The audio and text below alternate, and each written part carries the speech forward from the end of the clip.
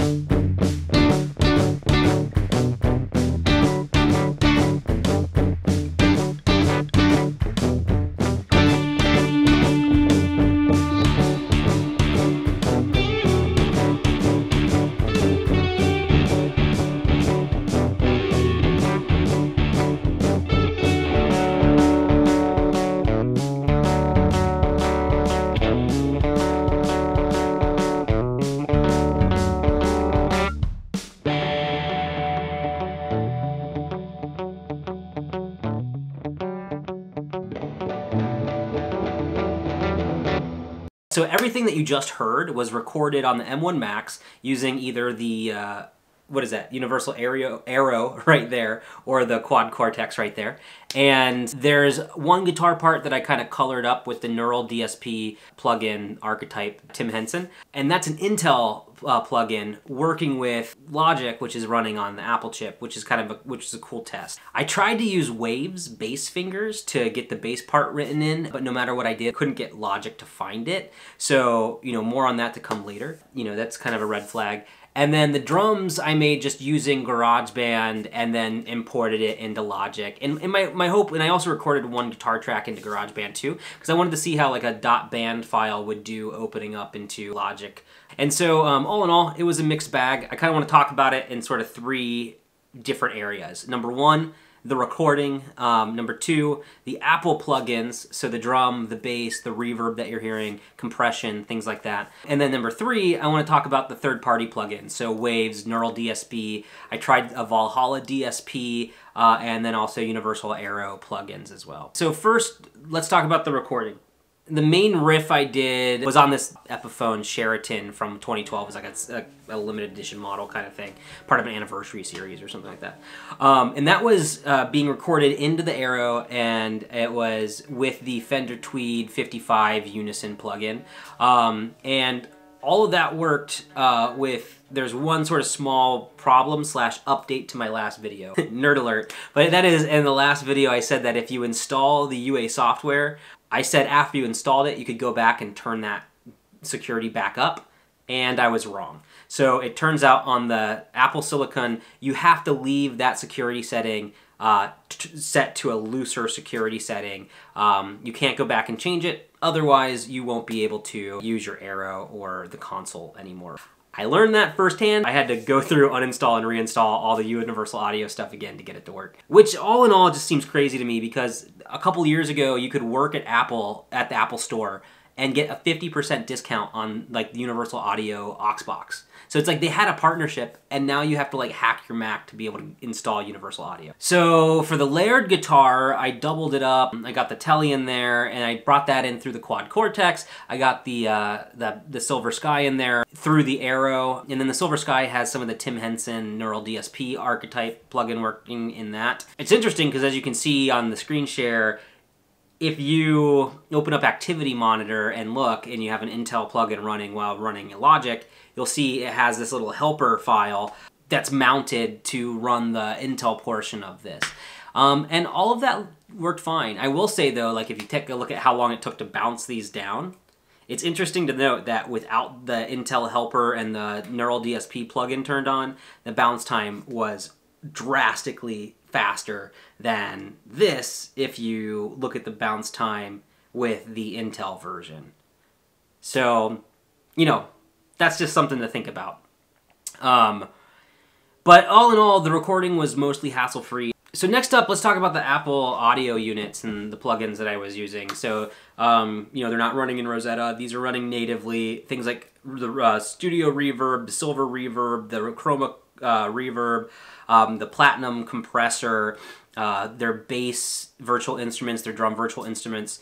I didn't expect to have any issues with any of that, and I didn't. So um, you can see, like, if I'm only using these, the Intel helper goes away. We're all just running on an Apple style. They're all just running natively, and yeah, it, it, it, worked perfectly. And again, it bounced down super fast. And so that's like, if you are a Logic user and you don't use a lot of like third-party plugins that are gonna have to run on Intel, I think you're gonna be okay.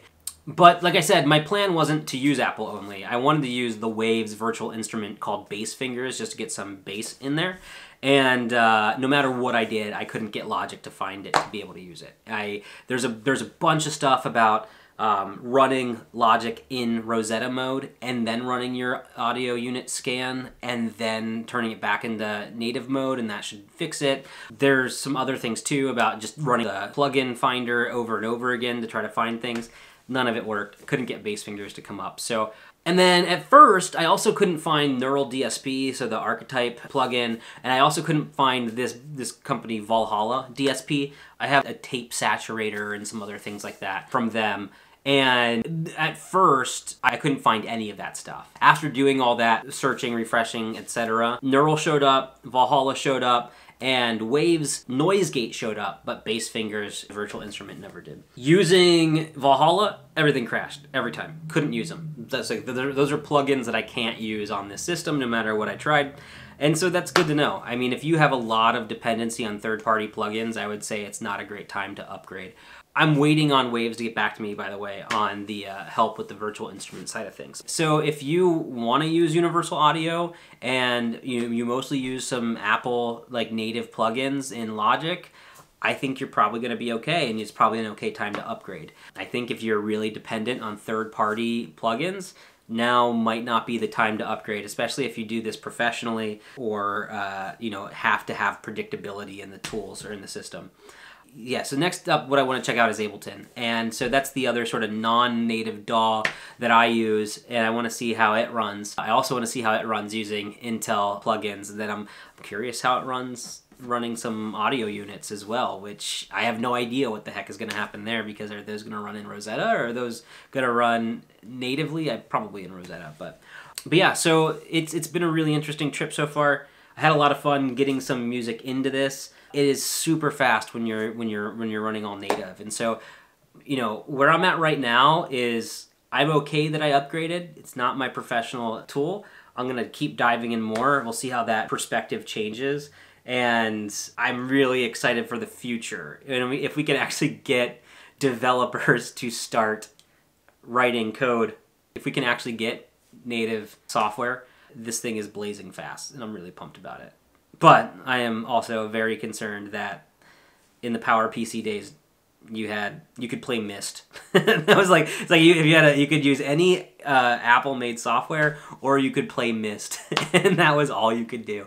Maybe there was a StarCraft. So I don't know. I, I it's a it's a mixed bag for sure. I'm not regretting upgrading. It's it's doing everything else perfectly fine, like Zoom calls and internet browsing and all the other stuff I have to do for work on it, and and even video editing in Premiere Pro has been going amazing. Rendering a video on this thing using Premiere Pro, which is running in Rosetta, it's making like a, you know, it, I, I, think I use like a, a, sampling rate of like 18, um, and, and that into a H.264, it's it's it's like four minutes compared to what was like 13 minutes for for maybe a 20 minute video on my Intel MacBook Pro. That was a Core i7. So definitely a lot faster across the board. I'm excited.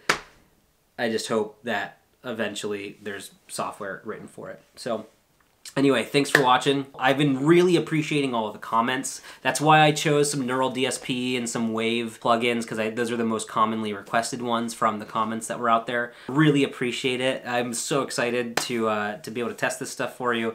Throw other things my way. What else do you want to know? I'm happy to take a look.